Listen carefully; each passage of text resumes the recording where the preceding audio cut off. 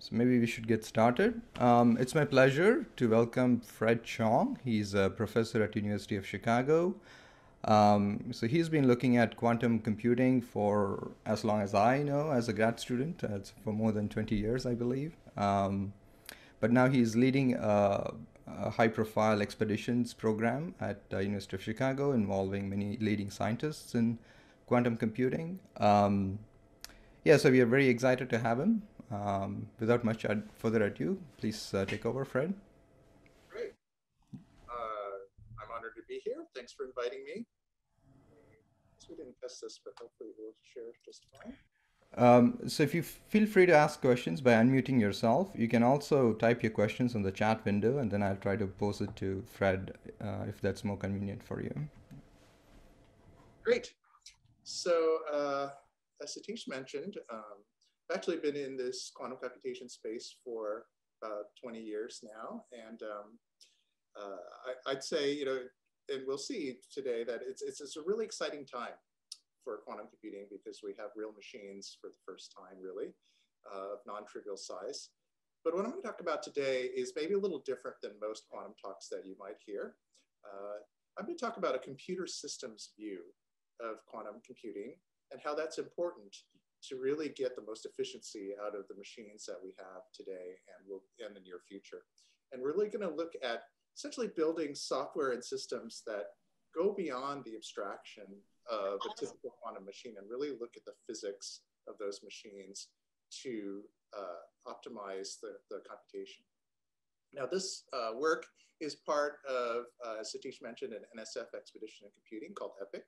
Uh, and uh, we have a team of people which uh, reflects the sort of vertically integrated work that we do from uh, theorists at MIT, including Aram Harrow, Peter Shor, and Ike Chuang, to computer scientists at uh, University of Chicago, and uh, experimentalists at Princeton, Duke, and Chicago.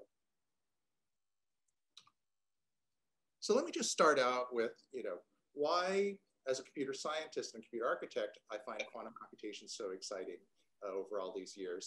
And really, the main thing is that it's the only technology that we know that can fundamentally change what is computable, right? Uh, it's the only technology that can give us, uh, you know, a doubling or an exponential scaling of computation potentially, uh, depending upon the algorithm, with the number of devices that we have. And this will give us the ability to solve currently intractable problems in chemistry, simulation, and optimization, uh, to, list a few examples, which could lead to you know, nice benefits in things like better materials, photovoltaics, even things like nitrogen, understanding nitrogen fixation better. Um, as an architect, uh, it's also interesting to think about quantum computing because as Moore's law and Dennard scaling slow down, uh, we have you know, a new technology that gives us some forms of scaling, perhaps in specialized domains. And also, the study of quantum computing has led to more insights in classical computing. Uh, previously, we've seen insights in chemistry, physics, and cryptography.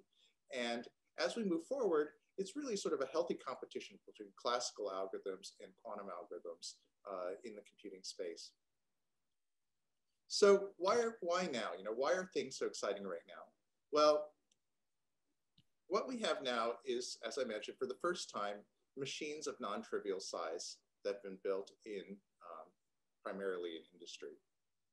And as John Preskill would say, uh, who is you know, an early proponent of quantum computing from Caltech, you know, now is a privileged time in, his, in the history of science and technology.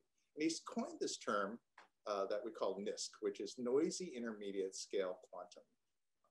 And that this both talks about sort of the potential of, of where we are right now and the challenge, right? The potential is that we're now at uh, intermediate scale, which means that we're at a non-trivial scale where we can actually compute things that can't be simulated classically, or, or at least at the moment are very difficult to simulate classically. Um, and so there's definitely new science that's going to happen, right? Uh, but it's also that these machines are noisy, right? If we had machines that were 53 perfect quantum bits, right, we would already be computing lots of really exciting things. But the challenge is that these are noisy qubits, and we have to deal with that noise and those errors and try to mitigate them and do something useful even in the presence of those challenges. And a lot of what I'll talk about today is really about uh, addressing that challenge. So another way to look at this is we look at the machines as they have progressed over time. And here what I've shown is uh, the number of physical quantum bits in a machine on the x-axis on a log scale, and the average error on a two qubit operation on these machines, also on a log scale. And um, as we move from the left bottom quarter to the right, uh, the machines are improving? And in fact, the machines have been improving exponentially over time, right? which is great. But there's still a huge gap between the algorithms we want to run and the machines that we have, right? And really the goal of you know, our project and other projects in this space is to close this gap. Right? And uh, the EPiQC project has, has this specific stated goal of developing algorithms, software, and hardware, essentially co-designing them to close the gap between algorithms devices by two to three orders of magnitude. And this two to three orders of magnitude translates to about 10 to 20 years of hardware progress. Now, this sounds ambitious, but in fact, uh, it's very attainable. In fact, in the last three years uh, of our project, we've actually come up with many optimizations, uh, each about two to 10x in uh, increase in efficiency and up to about 10,000x.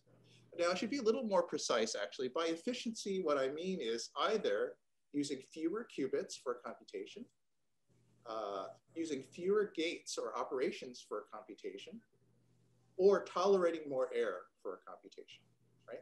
So those are the three things that essentially make up that gap that we're trying to close.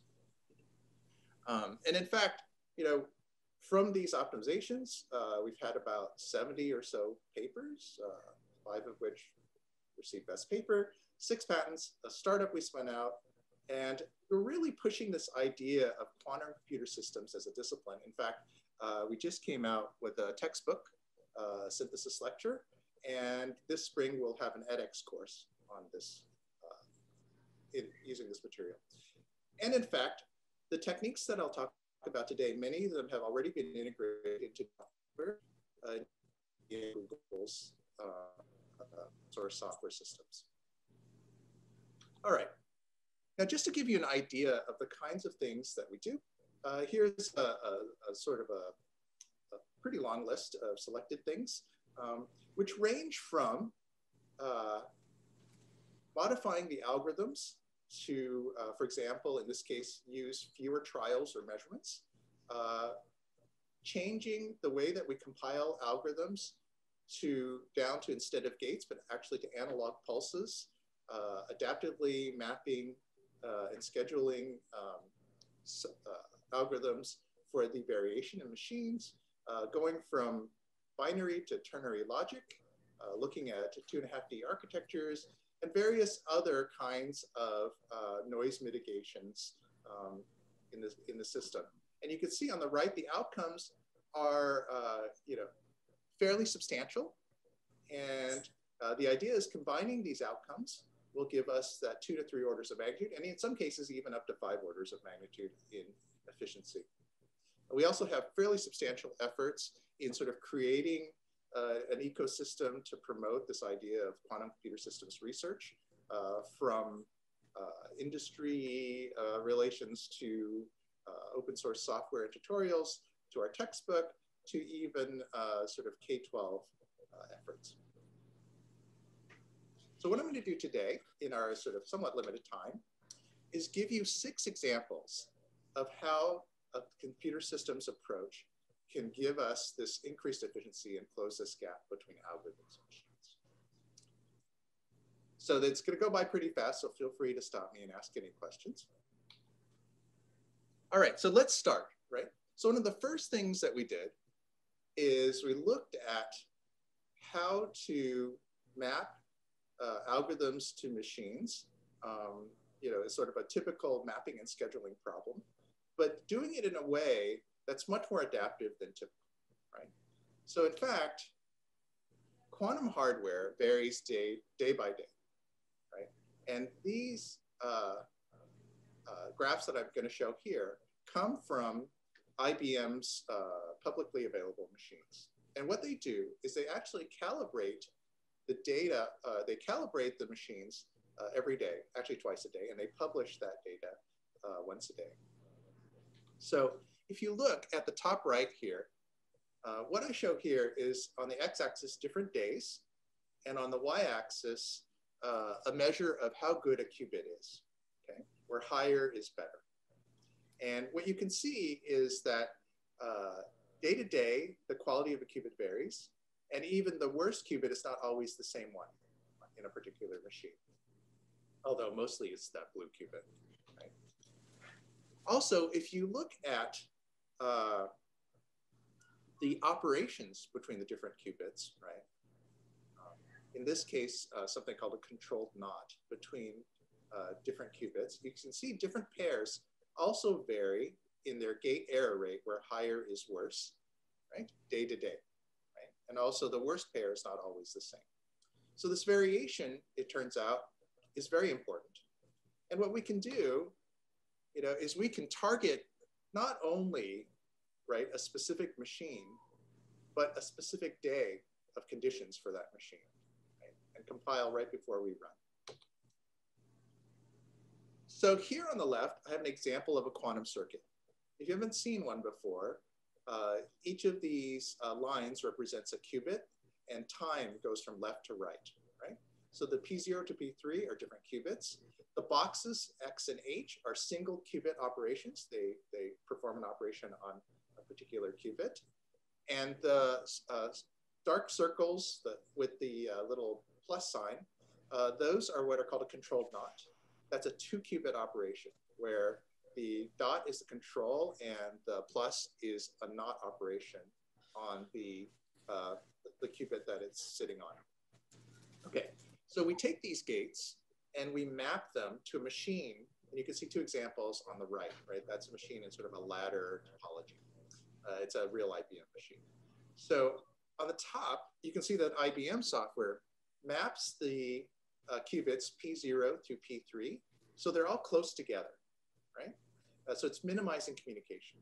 However, it's unaware of sort of the poor qubits, right? The bad qubits, which we've shown in uh, sort of gray circles, and the bad links or bad operations between qubits, which are in the, uh, the red X's, and it happens to have uh, selected some of those. Um, now, what we do is uh, we use uh, two flows, either heuristics or SMT solver, to actually place those qubits close together, but yet avoiding the red X's and the gray circles, right? Pretty simple approach, works really well. It's actually up to about 28x better in reliability, about 3x uh, on average. Um, this approach works so well that it's now integrated into IBM's Qiskit software. Um, and in fact, it has basically changed how the industry compiles to their machines, right?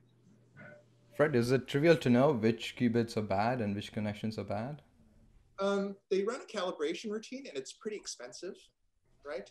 Um, it's actually probably not so hard to know what's bad. What they do is they run a calibration routine to try to make them as good as they can, right, to adjust for the errors, um, to characterize the errors. Uh, and that, that's why they only run the calibration routine once or twice a day because it's expensive. Uh, there are some questions about, is it more dynamic than that? You know, should we be running some calibration more often? You know, those are somewhat open issues. But this gets sort of, you know, this is the most of the benefit do something like this once a day. All right. So this this was great, um, but let's go a little uh, further in breaking our abstraction here, right? Um, now, in this next example, we're going to look at um, compiling not to this typical gate model, which looks like essentially assemb machine assembly instructions, but we're actually going to compile directly to the underlying analog control pulses of the? What does this mean, right?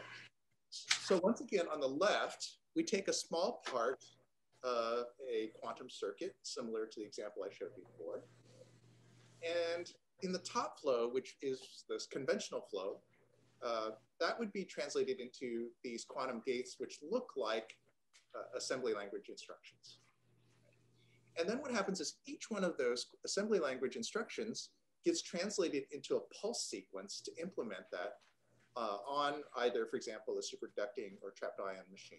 On a superconducting machine, it's microwave pulses. On a trapped ion machine, it's laser pulses. And that looks like this picture uh, on the top right. Now, instead, what we're going to do is we're going to take that function, consider it a, you know, a three or four input, um, you know, however many qubits it is, uh, function, and it, it's just an input and an output. So it's a start state and an end state. And we're actually going to use a gradient descent solver to find the shortest uh, analog solution to get from the start state to the end state. And what we get is actually this picture on the bottom right, which you can see is considerably shorter and simpler. And it ends up that this is about two to 10x faster than the traditional approach. And you can think of this on uh, in this picture on the right as uh, the conventional approach would get go from the start state to the end state through this series of somewhat indirect gray arrows. Right? Whereas our approach goes directly from the start to the end. Um, so it has a lot of potential. But there's a challenge. it could take hours or even a day to compile a program before we can run it because this uh, gradient descent solver is quite expensive and the dimensionality of the problem can be quite high. Um, in fact, we have to do this for blocks of the program, not the entire program because it's intractable to do this for the entire program. So, you know, if we only have to compile once, and then run the program many times, that's fine. But it turns out this compilation time is a serious problem for an important class of algorithms that alternate between classical computation in the outer loop and quantum computation as a kernel in the inner loop, right? So if you have to iterate an algorithm, uh, a kernel, say thousands or even millions of times, if you had, uh, and the input, so this, this compilation is input dependent. If the input changes to that kernel and you have to recompile each time, taking hours each time over millions of iterations is not a particularly uh, attractive solution. So um, it turns out that uh, looking at this problem, we're going to come up with an approach of partial compilation. And the particular problem is actually is important. It's um, something called a variational quantum algorithm. And what we have here is, uh, you know, qu quantum and classical hardware working together where the classical hardware controls the quantum hardware, right? And uh, a good example is, for example, um, looking at finding the lowest energy state of a particular molecular compound, uh, looking at which electron configurations give you the lowest energy state. And the way that's done in this kind of algorithm is you have a, an outer loop that essentially guesses those electron positions and an inner loop where the quantum machine can very quickly evaluate what the energy is of that configuration. So in this particular example, uh, which we call a variational quantum eigensolver, it turns out that we can find blocks of, of code or blocks of the circuit where only a small parameter changes. And it turns out it's, it's this uh, rotational angle parameter, which you see as theta 1 and theta 2 and theta 3 here. And so most of the computation is fixed. So we can do a partial compilation and then essentially fix it up based upon this uh, changing theta.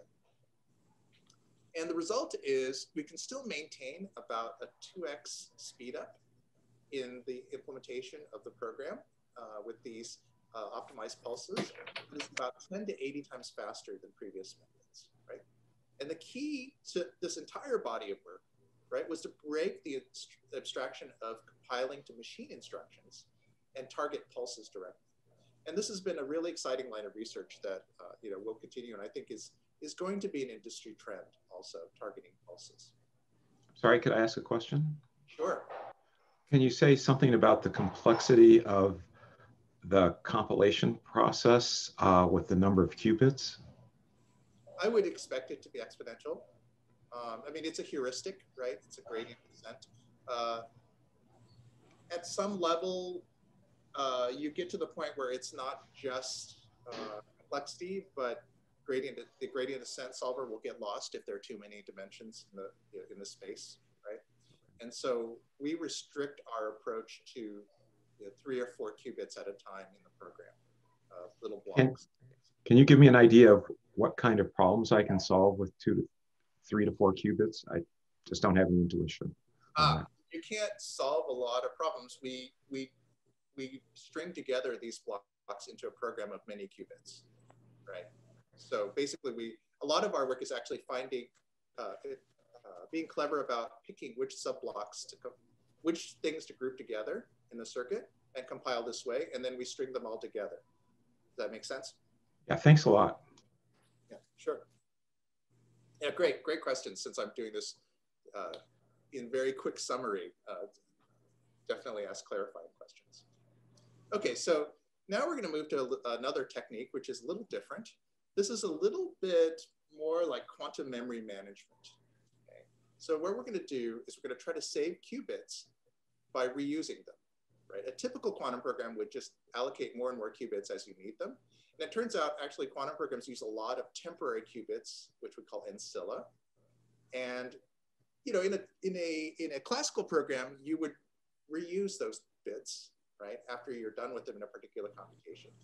But there's an interesting trade-off here in that in quantum programs, uh, qubits are essentially entangled with the result, and you have to uncompute or undo that relationship. So there's a, a, a big computational cost to this notion of quantum memory management or garbage collection, essentially.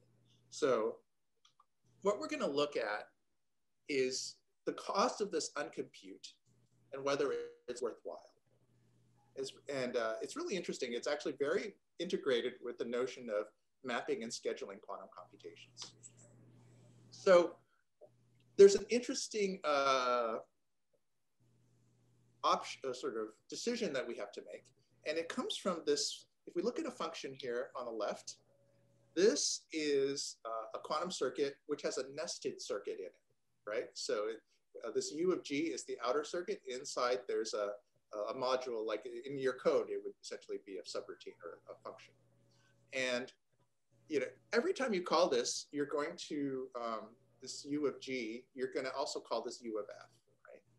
And there are two ways to, of going about how we uh, try to reuse some of the qubits. So the red qubits are the ones that are temporary qubits, and we might reuse. So one way that we can uh, do this is what we call the lazy way. We can uncompute this on the right there. Uh, you can see the mirrored version of the function. And when we get to those little blue circles on the right, we get to use those qubits again, right? So now we've uncomputed it. And so during those red lines are when those qubits are unavailable. But we can do the uh, more expensive thing, which is we can get some of those red lines, those red qubits back earlier if we more aggressively uncompute. So we take that u of f minus one uh, on the left there, and we can do that early and get that qubit back. But a crazy thing happens. Um, we have to recompute it later in order to uncompute the parent function, right? So there's like a recompute of the uncompute. And so there's quite a lot more computation in the top option than the bottom option, but you get more qubits back earlier. So there's a trade-off between being lazy and eager. So it turns out that of course, a hybrid approach of deciding when to be lazy or eager is important. And also, it turns out deciding when to uncompute based upon uh, how close the qubits are to where you need them is also important. And what happens is that surprisingly, our so we designed this algorithm for future fault tolerant quantum computers where we have a lot of qubits you know, you know, when we have maybe thousands or you know, even millions of qubits. Um, so, and, and that, and when gates are um, much more reliable. So we expected that this mechanism would work when we could afford to do a lot of computation to do uncompute. It turns out that this approach works great for uh, NISQ machines, which was really surprising. it, it actually is 50% more accurate or more reliable to use this approach than not on uh, machines that are slightly better than current machines, slightly bigger. Um, so it turns out that even though we have to invest more gates that cause errors, it's cheaper to uncompute sometimes than to find a free qubit somewhere in the machine and move it to where you need it. Right? So on these IBM machines, it turns out when you uh, need to move something, it's done through a swap gate. So here, if, if I need to go from a gate or qubit 50 to qubit 24, so at qubit 24, I need a free qubit. Um, and, and so I move it, a free qubit from 50 to 24. All those red arrows are actually swap gates. Alternatively, let's say that I could do some uncomputation and make qubit 24 uh, free or usable again, um, which is that sort of little green circle, uh, recycle arrow there, right? Um, it turns out that sometimes that is much cheaper than communication, which was you know, really surprising to us, actually. And in future machines, when gates become more, more inexpensive, it actually can be 10x better in uh, reliability. Okay. So this, this was an interesting result that actually we had been working with for quite some time before we worked it out. Um, you know, we knew that some form of quantum memory, memory management would be useful. All right, so let me move on. So a fourth example is an even sort of greater uh, departure from our normal abstraction. So we're actually going to look at ternary computation instead of binary computation. So qutrits instead of qubits. And it turns out that another good use of uh, having extra space in our machine is, is once again, these temporary bits are ancilla. So what we're gonna do is instead of allocating new qubits to be temporary bits, we're gonna sort of borrow the third state in a, in a, uh, in a device. So the idea of ternary logic, of course, is not new. It's been around classically for quite some time. But it actually tends to make quite a lot more sense in the quantum case. So in classical machines, right, you basically have a finite amount of signal, right, between zero and half a volt, let's say, and then you break that up into, say, two logic levels and you have noise margins. But if you have three logic levels, you're basically squeezing your noise margins, right? And so you have less, you're breaking up the same amount of signal into more logic levels. But in a quantum machine, it actually turns out that we use these energy levels and normally we just use the, the lowest two energy levels and we ignore the higher ones. And so there's actually more signal to be had, right? And so there's some useful uh, sort of physical property there that we can get three levels. Now there is a disadvantage that the third level is a little more prone to noise or error, and that uh, we have to evaluate in this work. And so uh, really sort of skipping forward to the results, it turns out that if we use this third level and we cleverly design our circuits to exploit the third level, um, we get about a 70x reduction in the number of qubits that we need in some circuits. Um, there's been quite a lot of interest from different hardware platforms uh, and vendors. You know, not surprisingly, people want to get the most out of the devices they build, and uh, you know, sort of using an extra state and giving us more uh, information to work with in computation is nice. Uh, and we used uh, IBM's pulse level interface actually do a qutrit experiment. And on the right here, what you see is we're taking a single qubit and we're moving it between three different states in a simple sort of uh, three-state counter, right? And we're able to uh, essentially fool the machine into using three states since the machine isn't really designed for it. Um, and uh, it's, it's, it's exciting that you know fundamentally the technologies are, uh, are, are able to do this three-state manipulation, but it, um, the machine, the systems still need to be a little bit more optimized for doing. Okay. One more. This is uh, some of our most recent work, actually. Um, and this is interesting because what we're going to do here is we're going to look at some, you know, some newer technology. Um, which is uh, essentially quantum memory built from a, a resonant cavity sitting on what's uh, typically used as a qubit called a transmon. Okay? And it turns out that this gives us sort of a two and a half D uh, topology or architecture, which it, it, turns out is very good for the leading error correction code, which is called the surface code.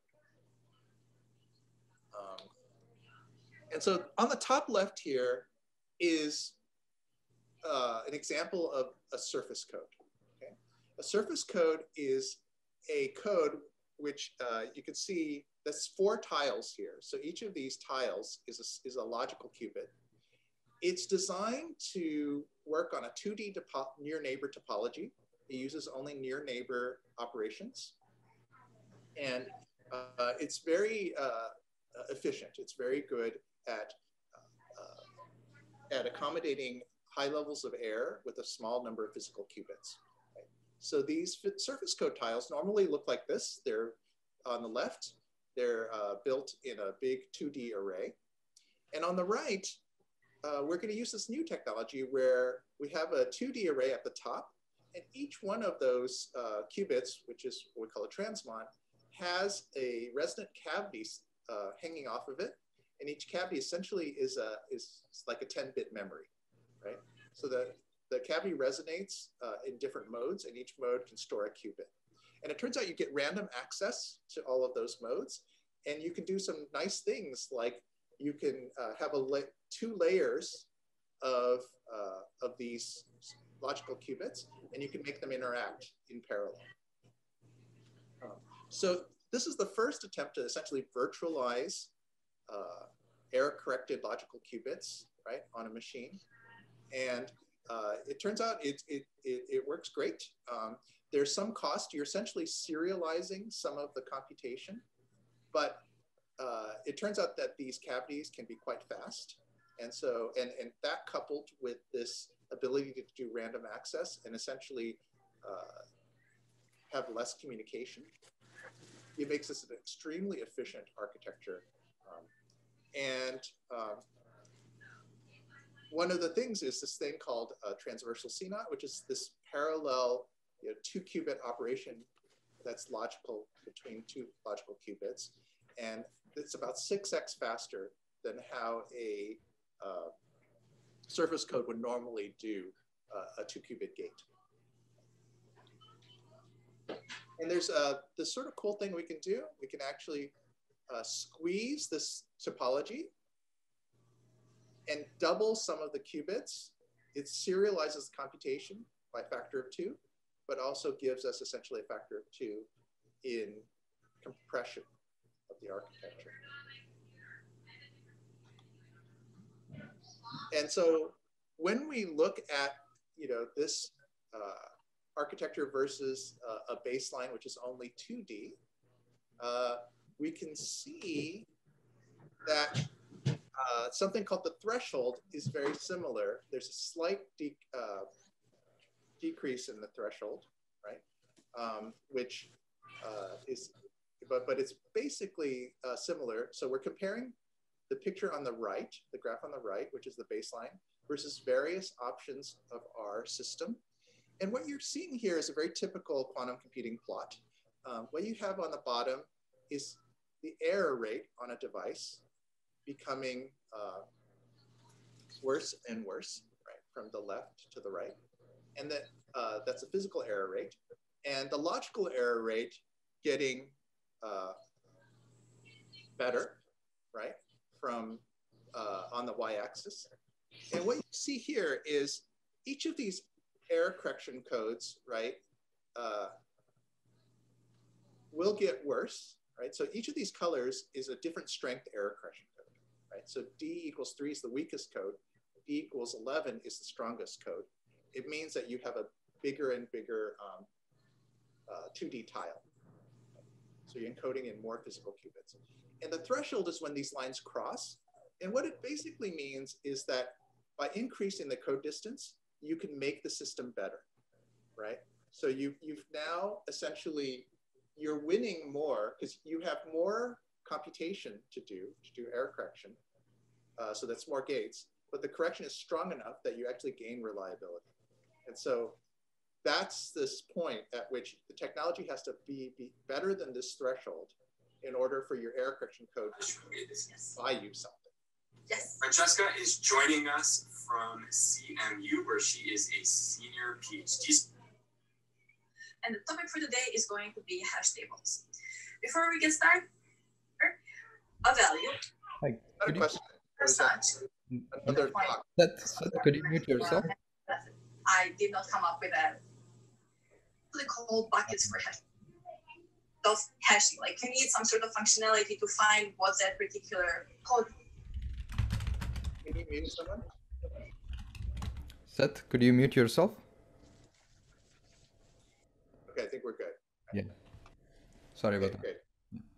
So, so the, the, yeah, that's a little bit more detailed than some of our, some of the other things I did, but this essentially shows you that uh, we can make the system much more compact, about 10x more compact, 20x actually, with uh, a little bit of cost in how much, how reliable the devices will be. So, so the exciting part of this is not just the compression and the speed up, but actually this bottom line here, which is we could build a prototype with just 10 or 11 transmons and nine cavities, which could simulate, which could implement 10 logical qubits, right? So this architecture and this scheme actually gives us a target of a physical machine prototype that would be very exciting and very near term to build, um, which would give us, you know, a, uh, a fault tolerant quantum machine with 10 qubits that would last a really long time. Oops, let me go back. All right. So this is my last example. Now this example, I also quite like this example. Um, this is an example of how physics-aware software can make it so that you can build a simpler machine which has the performance or reliability of a much more complex machine. Okay, so what we're going to do is we're going to look at uh, this phenomenon of crosstalk, which is when you have two gates near each other causes errors. And we're going to try to tune the machine to avoid this kind of phenomenon. So here's a picture of an IBM machine.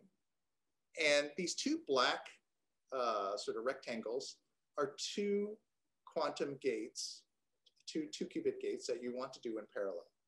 If you do these two gates in parallel, because they're right next to each other and have this uh, link between one and six uh, next to each other, you will get error that's 10x worse than if you did not do them in parallel, right? And so that's crosstalk caused by resonance between the qubits as you're trying to do these two operations. So that's bad, and we want to avoid that. Now, there are a few ways to avoid crosstalk, and this picture, this quad chart, gives us uh, some of the design options, okay?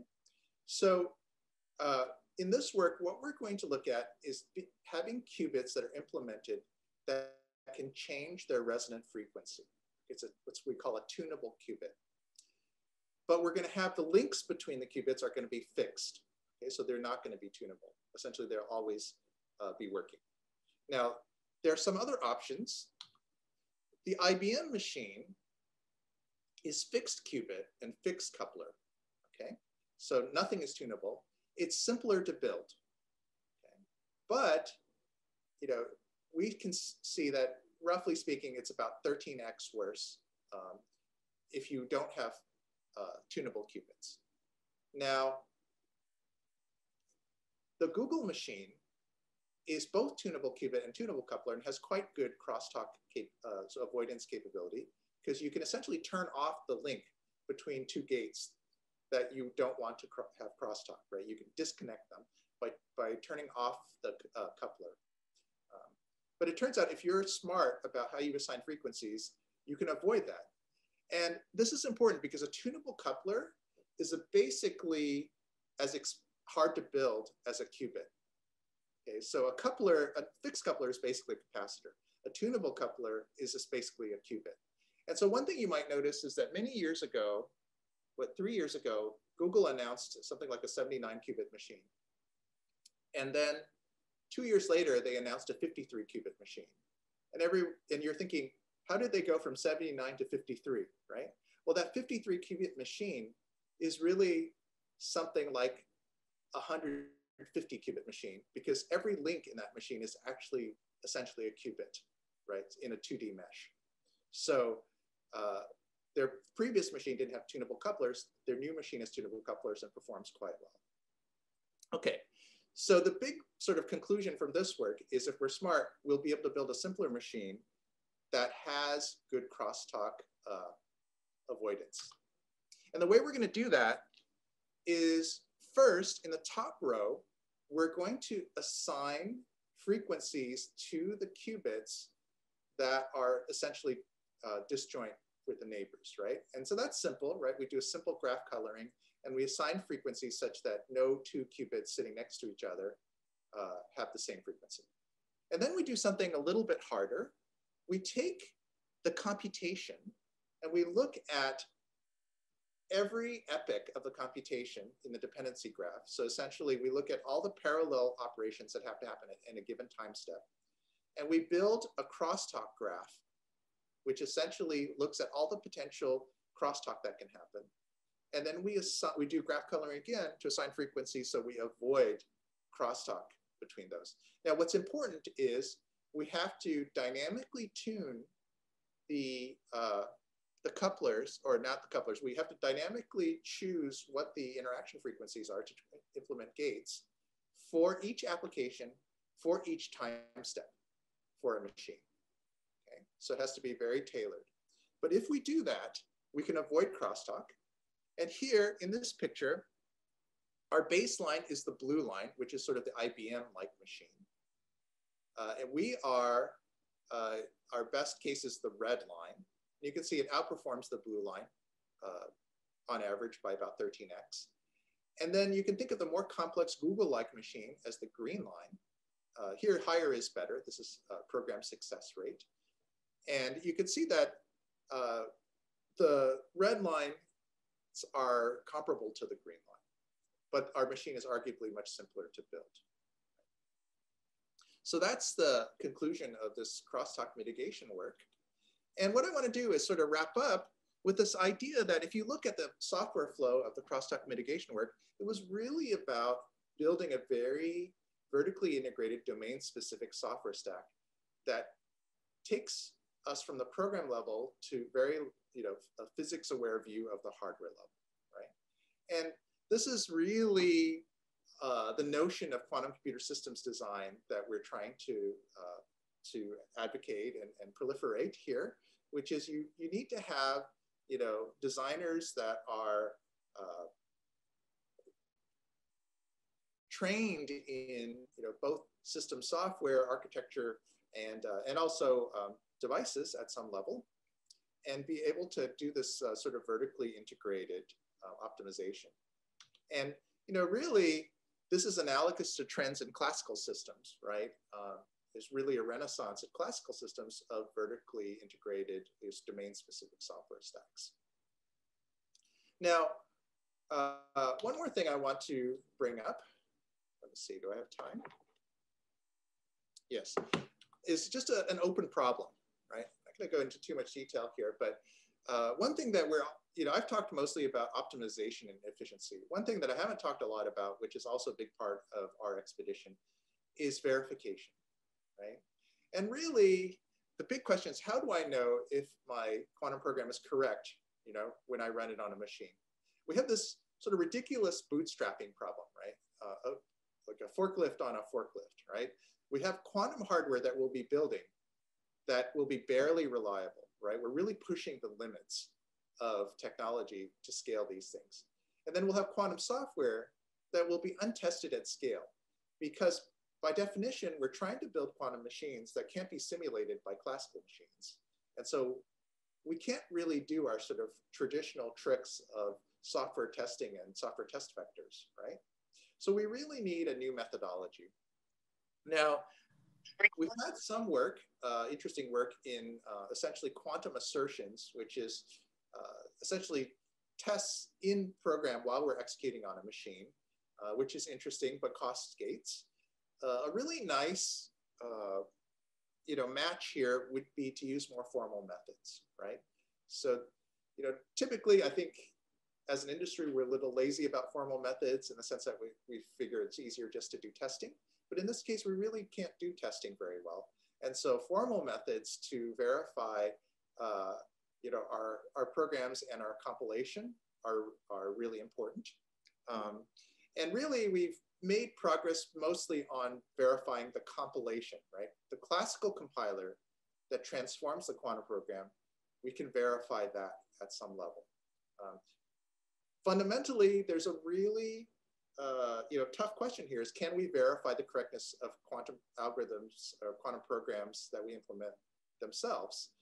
And, you know, fundamentally, we can't verify any property in tractable time uh, that's too close to the computation itself, right? Because if we do that, then we've actually just disproven that that algorithm has any exponential advantage over classical?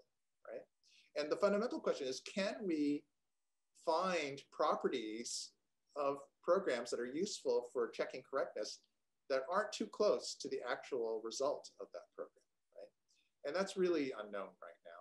Uh, I mean, we have some ideas, but you know, that's a really interesting problem and actually has implications, in addition to the practical implications of how do we check programs, it has implications for um, you know, what is the space of, of quantum supremacy or quantum advantage, you know, which, which, which algorithms are going to be useful. Okay, so uh, I'm going to not go over this example in detail, um, but we do have some work where we did some SMT-based verification of a compiler, in fact, the IBM compiler. And the result was that we actually found four bugs in the Qiskit compiler, which is an open source compiler that has, uh, you know, uh, community contributions, right? And so we've actually built a uh, automated method to try to verify those contributions. And so this is pretty exciting. But I will say that what I've talked about most of today, which is optimization for efficiency and breaking abstraction, is in somewhat in direct uh, opposition to verification, right? So this uh, system that we built relies upon the modularity of the IBM compiler to uh, verify each layer, right, in a tractable way. And so as we break abstraction and break layers, we're going to make it harder to verify them. In fact, for example, we don't really know how to verify pulse level implementations of, of of programs, right, uh, without actually simulating the program or simulating the machine. So, Fred, can I ask a quick question? So, yeah. you haven't uh, talked much about what type of applications are suitable for these quantum systems today. Um, so, some of these verification problems are probably dependent on the type of problems you're trying to solve, right? So, for example, if you're trying to do SMT solver, then you can think about verification. But if I'm trying to run an ML inference, I'm not sure what verification means in that context. That's true. And in fact, yeah, that so verification of the compiler is fine because we know how to do that, right? But verification of the algorithm or, or the implementation of the algorithm, that's quite difficult. In fact, another approach that I would advocate is that we're looking at is provably correct synthesis of an algorithm from its mathematical specification, mm-hmm. right?